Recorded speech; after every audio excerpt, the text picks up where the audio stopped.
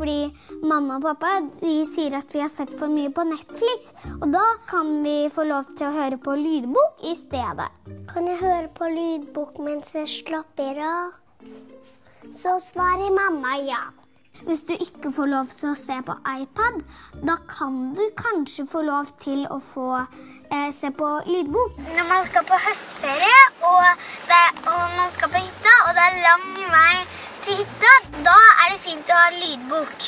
Hvis du har en lillesøster eller en lillebror som er ganske grinte, da kan du ofte kanskje sette deg inn på rommet og høre på lydbok. Man blir ikke like sykt av lydbok. Eh, vi får ikke alltid lov til å se på film i bilen, men lydbok,